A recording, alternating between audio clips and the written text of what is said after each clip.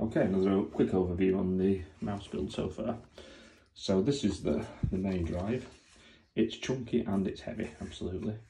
Um, what you've got is you've got a scooter motor as a main drive, which is over the top, absolutely. Um, I put it in the middle so it gives you a good bit of centre of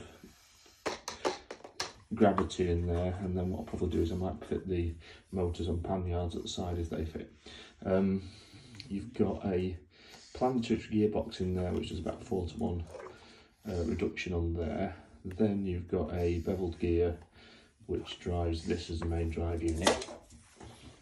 So if you look underneath there, that then drives that box which is the slip the differential drive so I don't know if you can see if I turn one wheel one way the other wheel goes that way but when the wheel's engaged it will drive backward um, then towards the front uh, you've got your Ackerman steering so as I think as people who know these things go the wheels have to go at slightly different angles because as it as it turns in a circle um, you'll find that it goes at different things. So you've got you've got a 45 degree angle on this side and whatever it equates to on the on the outer rim, which gives you a reasonable sort of turning circle.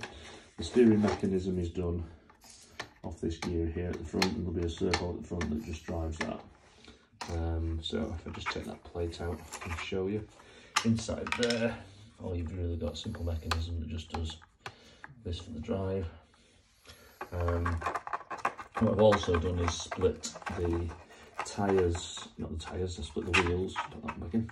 I split the wheels uh, into two parts so we don't have to try and force one on. So the, they're a two part wheel that bolt together and then they just um, hook on, they just bolt on from the inside.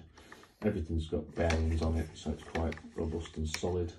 Um, there is a, I've put these at the front here to give a little bit of bounce, just to give um, tiny, tiny bit of suspension, but you don't need too much at all. Um, so they, they roll quite freely. So what you'd have then is your basic steering mechanism like that. And obviously you drive here uh, ridiculously thick tyres at the back, um, predominantly because I'm using this motor um, and uh, I'm using printed tyres, so we'll see what the grip's like, um, but it's definitely, will have a oodles of power. Um, then if we go into the battery box, into here, well the battery box, but in here, what you've got is there's a load of little loops in there that allow you to put cable ties or cables. As I'm designing these things, I'm not quite sure how they're 100% going to work out. This tray, which is the, fits through a hole about there, doesn't it? Is a servo tray, so effectively that comes through your servo mounts there.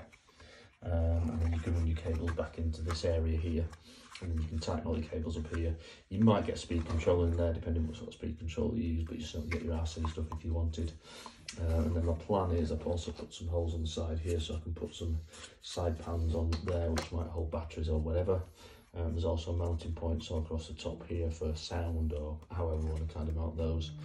Um, and then you've got front and back. There's a, uh, a bracket here which is used to mount the main shell of the mouse and a bracket there at, the, at that side so your, your, your, mouse will be mounted between those two brackets um, and that's pretty much the drive to be honest